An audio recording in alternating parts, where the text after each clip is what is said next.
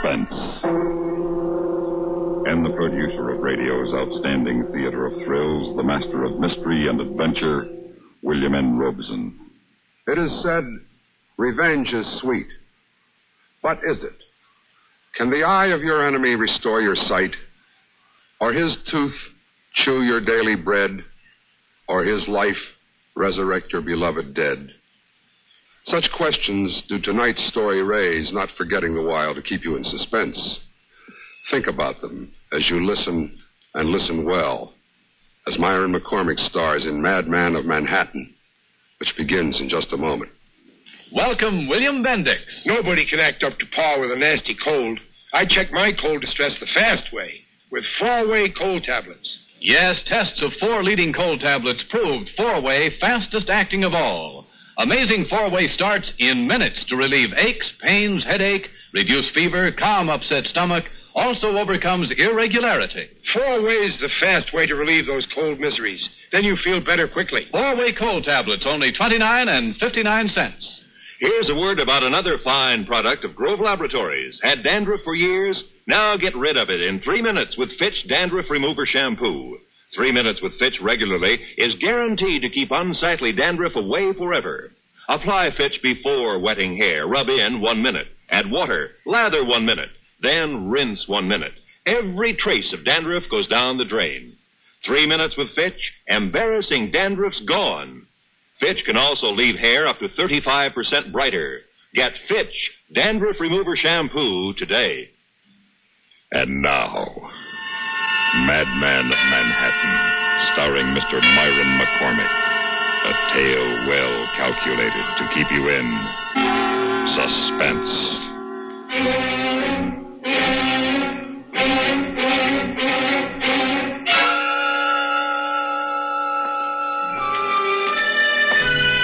Hey, you.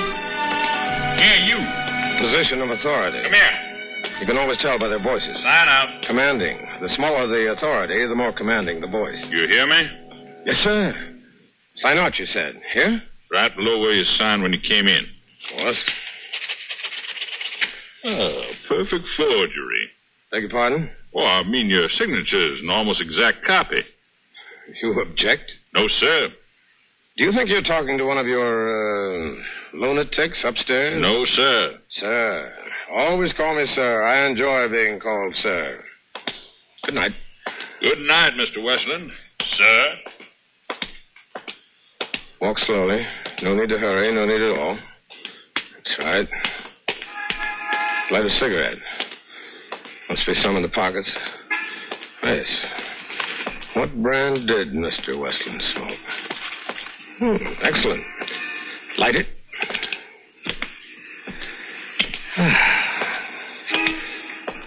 To run. There won't be an alarm for at least 20 minutes. Why think of that? No need to think of that. One look back over the shoulder, casually. Casually.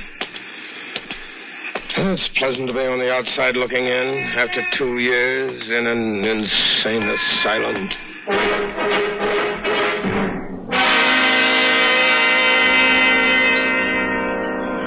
And now, what do you have? This is a restaurant, Are you kidding? and you're a waitress. Lovely waitress. Look, do you or don't you want something to eat? I'd much rather look at you. Look, mister. I'm going to take you out of all this. Oh, sure. Furs, diamonds warm against your skin. Hey, there go my hand. Your name is Fay. I see it embroidered on your uniform. Fay. Mm-hmm. Now, Fay, listen to me. The manager's looking over here. I'll tell you something you can tell to your children, to your children's children, and their children's children's children. Oh, a comedian. Now, listen, this will be the biggest thrill of your life. I just escaped from Bellevue. What? I'm Lacey Abbott. Been in the psychopathic ward in Bellevue for two years.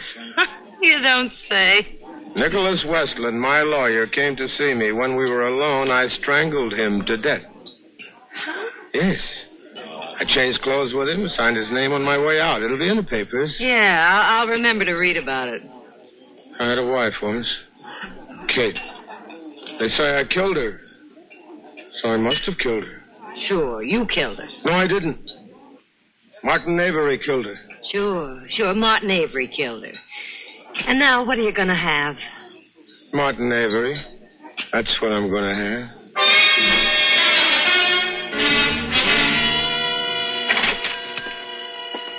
Anyone minding the store? I'm coming, I'm coming. Oh, hello, Pop. Well, what do you want? Got something you want to hawk? Don't bother me with it. Everybody's selling. Nobody's buying. You got me wrong, Pop. I'm a buyer.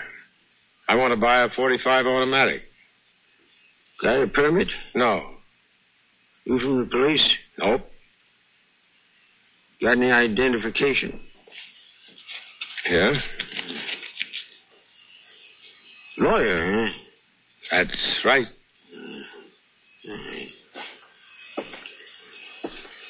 There you are.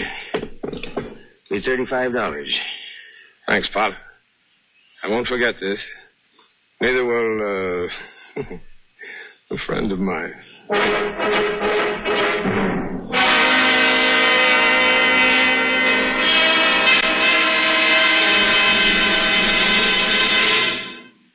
In a moment, we continue with the second act of Suspense. With your permission, we'd like to talk shop for just a moment. CBS Radio Shop. Recently, one of the foremost publications in the broadcasting field polled 465 critics and editors the question which radio network programs do you rate tops? When the answers from these 465 experts were tabulated, the final ratings were overwhelmingly one sided.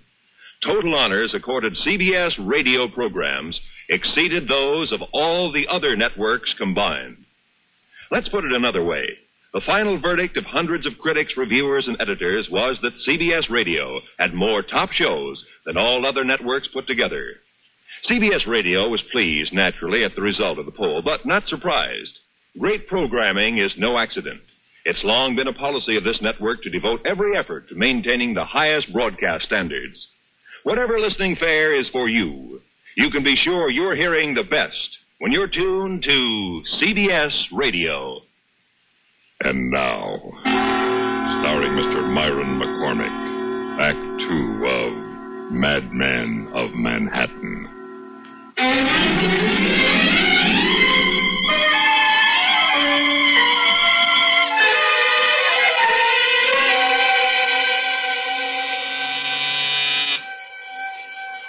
Late to call on Martin Avery, but our business won't wait.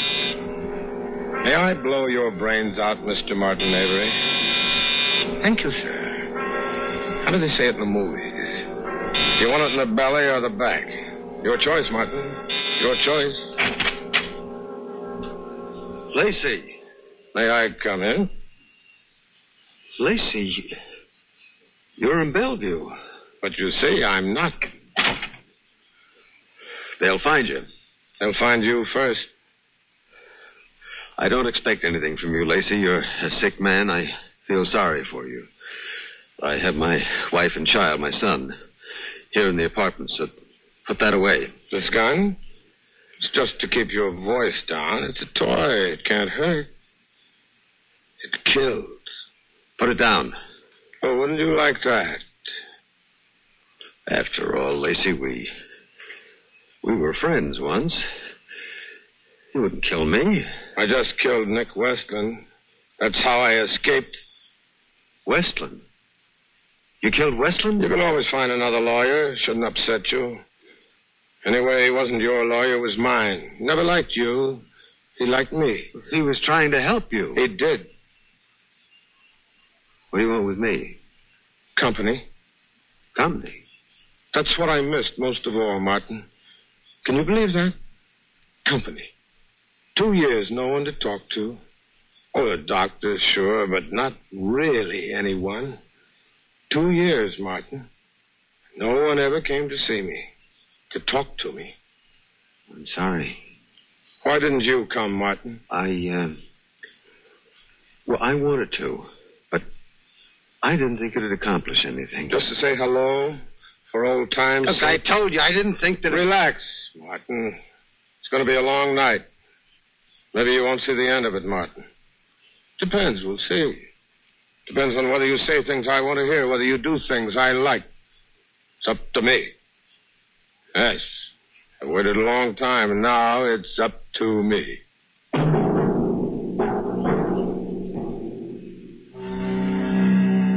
Look at him. Look at Martin Avery. Standing alone in the study of his Better Homes and Gardens apartment. Alone with only me to keep you company. Yes, everything must be going exceptionally well for you. Everything must have paid off for you. But I notice as I move about the study, turning off the lamps, that there's a trace of perspiration on your forehead. Does it affect you? Just a little? Being alone with a madman and a gun at night? What's taking place behind the steady eyes, Martin? You're thinking? That would be fatal. That was my mistake, thinking too much. Watch me, Martin. That's right. Never take your eyes from me. I want you to keep watching me. For then you can't help but think about it. What did you say? I want you to think about it. Think about what? Whatever comes into your mind as you watch me.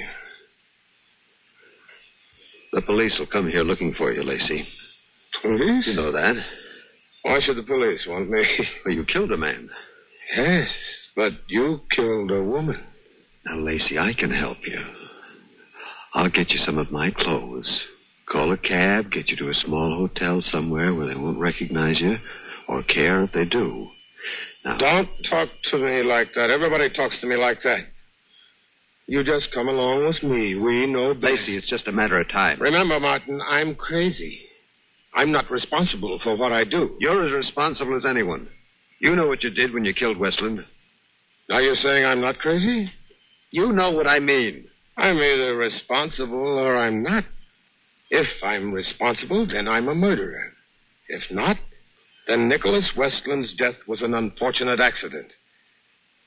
But the question of my responsibility was all taken care of in court two years ago, remember?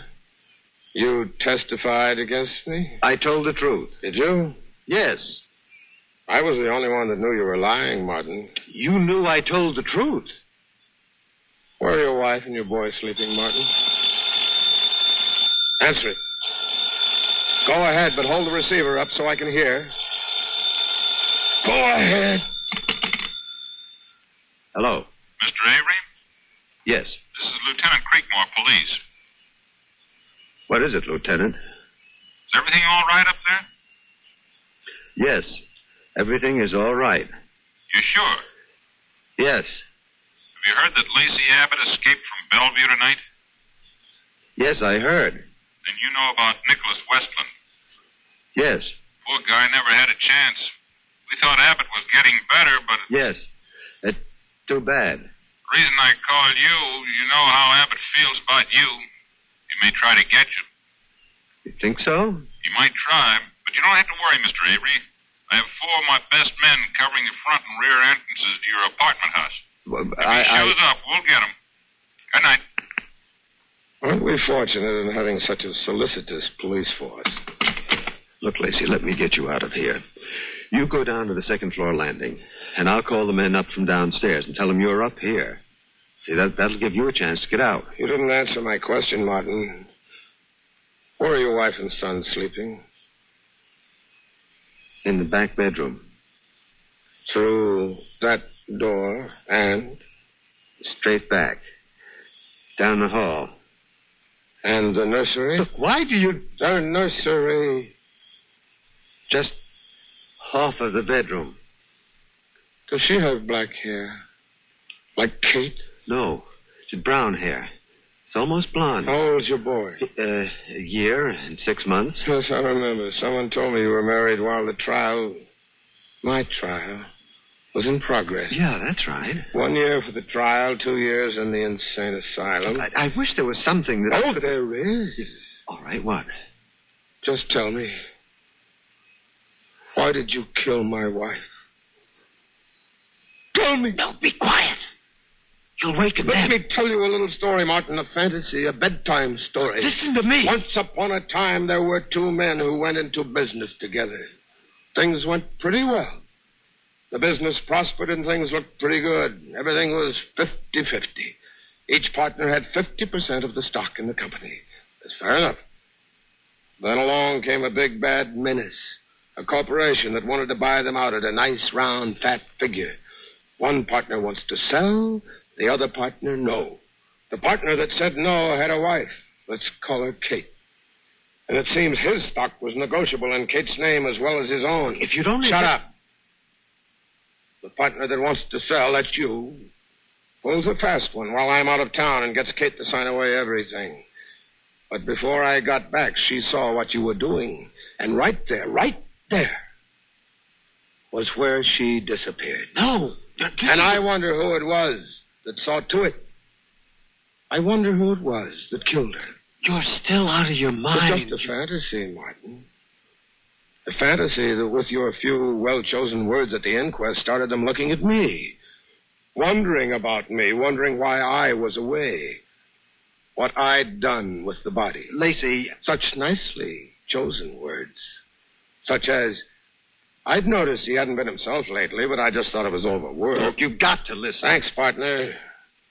I do thank you, and I stand ready to repay you, Martin. Where's her body? I don't know. Martin. Look, it was never proven she was dead. Let's say it was taken for granted. Give me the gun. Hmm. Advanced psychology. You must have been studying. Give me the gun. Response to the command, isn't that the way it goes? Response to the command sometimes works the impossible. The subject will sometimes obey your command against his better judgment. Give it to me. No, Martin. Give it. No. Oh, you can do better than that. Come on, more, more, more, more noise, more, come on. You know, someone might come in ah. to see. Ah. Oh, That's better. I knew you were going to jump me. You know I could have killed you. Why didn't you? You haven't told me what I've got to know. What would you do if I walked over to that door and just walked out? First, I'd shoot you in the shoulder. Or the leg. And maybe the other shoulder. I don't want you dead. Not yet. Look, Lacey, I never harmed you. I swear that. I swear it. Tell me, where is Kate's body? I don't know. Tell me. I can't. Through the door and down the hall. No. Just off the bedroom? No, not the boys. Lacey! Tell me! No, I can't. Lacey! Don't lock me in. Come back. Come back. You, you Lacey, you can't. Ann! Get Johnny. Lock your door. Ann! No! No! Ann! Johnny! No! I'll tell! I'll tell! I'll tell! I'll tell! Tell! I'll...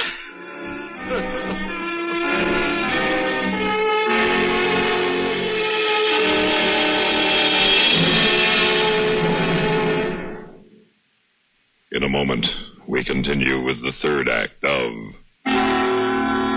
Suspense. A word of advice for those of you who suffer from acid indigestion, heartburn, or gas. Do you know about the little white tablet in the little green pocket roll? Just a waiting for the moment when you need 'em to bring your acid indigestion under control. Tums are the little white tablets in the little green pocket roll. Tums for the tummies,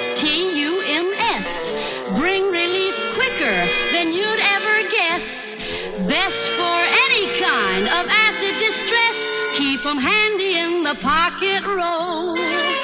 Keep your tummy under Tums control. The modern Tums formula has never been surpassed for effectiveness. Always carry Tums, 10 cents. Three roll pack, a quarter. Or get the new six roll Tums pack with free metal carrier, only 49 cents. And now, starring Mr. Myron McCormick, Act Three of Madman of Manhattan.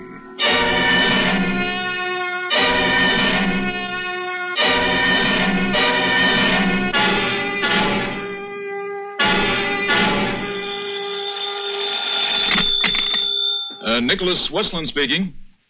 Yes, I know, sir. I'm glad you had the faith to play along with. Yeah, I know. It was pretty extreme. Here, I'll let you talk to Lieutenant Creekmore. Hello, Commissioner. Uh, Avery's wife and child, they're okay. Got a little scared when Abbott fired those two shots in the ceiling. Yeah, yeah, I, I know, but that's what got the confession out of Avery. I know he shouldn't have brought the gun. We didn't bargain on that. Yeah, yeah, we got it. It's all on tape. Listen, play it back, boys. I'm just playing the good part. It doesn't matter now. Nothing matters now. You were wrong, Lacey. It, it, see, Kate came to me months uh, before you took the trip. She wanted to leave you. She thought she wanted me. And it was her idea to sign the stock over to me. Everything. And I. I kidded her along. Why not? And then when you were away, she signed the stock over. She found out about Anne and me. It doesn't matter now. I. I tried to talk to Kate. Argument, we had a fight. I didn't mean it. It, oh, it was an accident. I killed her. I fixed it so they'd suspect you. That wasn't hard. It was better than I thought. You seemed to be out, out of your mind. Where did you put her? I. I kept. That's nothing. Until they. You get it? Yeah, well, we'd never have cracked Martin Avery any other way. They wanted to release Lacey Abbott six months ago. Said he was as sane as I am, but I'm glad we waited till he had this worked out in his head. Yeah, you'll have my full report tomorrow. Good night. And thanks, Commissioner, for letting us try it. Well, Lacey, you should be feeling pretty good about all this. Your plan worked out great. You're clear. What difference does that make? He said Kate came to him. Kate came to him.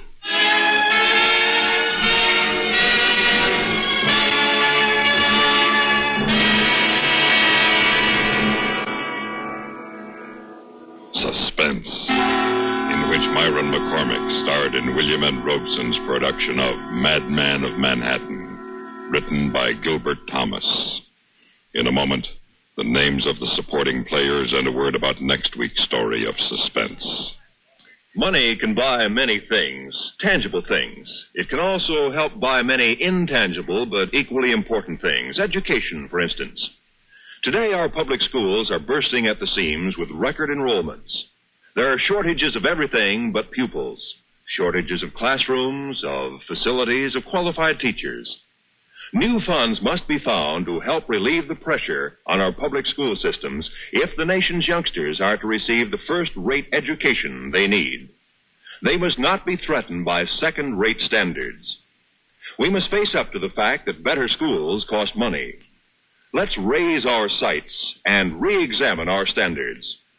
For complete information on how you and your community can make sure your children receive the first rate education they need, write to Better Schools, 9 East 40th Street, New York 16. That's Better Schools, 9 East 40th Street, New York 16. Supporting Myron McCormick in Madman of Manhattan were Doris Singleton, Karl Swenson, Barney Phillips, and Norm Alden. Listen. Listen again next week when we return with Frank Lovejoy starring in Death in Box 234. Another tale well calculated to keep you in.